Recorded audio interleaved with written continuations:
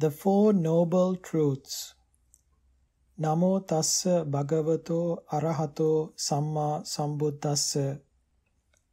චතු සච්ඡං පකාසෙත්වා චතු මග්ග ඵලේ සුබේ පතිට්ඨ පෙත්වා සංසාරා යෝ තරේසි බහුජ්ජනේ. තං ලෝකනාතං සුගතං ධම්මංච තේන දේසිතං. සංගංච ඕරසං තස්ස අභිවන්දාමි සාදරං.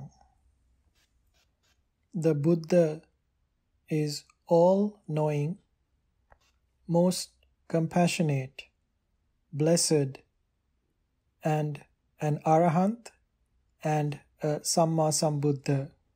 This great being became that through many striving, through four asankhya and 100,000 eons, cultivating thirty-fold paramis, which included amazing feats of donations and unbelievable feats of virtue. If someone may ask, why did the Buddha go through all of that? Why did the Buddha strive to defeat the fivefold Mara?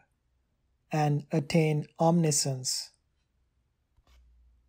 It is to deliver the Four Noble Truths to all of us.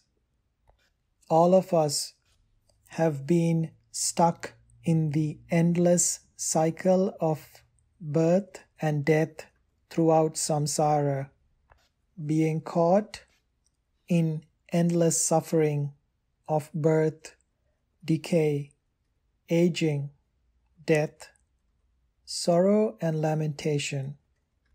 And that's not all. Think of the amount of times we have been born in hell as animals, as hungry ghosts, and Asura demon realms. Siddhartha Gautama made this great commitment to become a Samma so that he could show all the beings a way out of this samsara to understand the Four Noble Truths and attain nirvana ourselves. When you look back, the first sermon the Buddha delivered was on the Four Noble Truths. It was delivered at Varanasi at Isipatana to the five ascetics after the Brahma god invited the Buddha to do so. At that point in time, there was so many deities and Brahma gods that came from 10,000 solar systems just to listen to that Four Noble Truths sermon that was to be the first sermon of the incumbent Buddha. The Blessed One said this The most certain and unfailing means of overcoming suffering and attaining the Nibbana is through understanding the Four Noble Truths.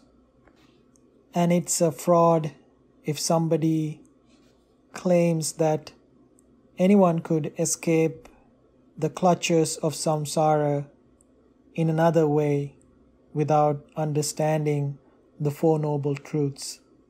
The Blessed One said this Seyatapi bhikkhave yo evang vadeya ahang kadirapattanang va sallapattanang va ආමලකපත්තානං වා පූටකං කරිත්වා උදකං වා තාලපත්තං වා ආහරිස්සාමීති නේතන්ඨානං විජ්ජති. ඒවමේව කෝ භික්කවේ යෝ එවං වදෙය්‍ය. අහං කෝ දුක්ඛං අරිය සත්‍යං යථා භූතං අනබිසමෙච්ච දුක්ඛ සමුදයං අරිය සත්‍යං යථා භූතං අනබිසමෙච්ච දුක්ඛ නිරෝධ අරිය සත්‍යං යථා භූතං අනබිසමෙච්ච දුක්ඛ නිරෝධගාමිනී පටිපදං අරිය සත්‍යං යථාභූතං අනබිසමෙච්ච දුක්ඛසන්තං කරිස්සාමීති netang tanang vijjati the meaning of that pali stanza is as follows dear bhikkhus if someone claims that they can use the really small leaves like kihiri, asoka, or nelli and make a cup out of it that can hold water or a palm leaf.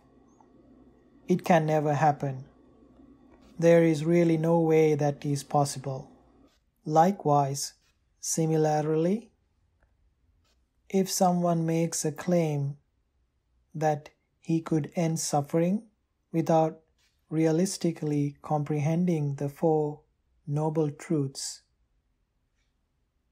which is the truth of suffering, the truth of cause of suffering, the truth of the cessation of suffering, and the truth of the path leading to the cessation of suffering. There is no reason or any way that that person could ever escape this clutches of samsara.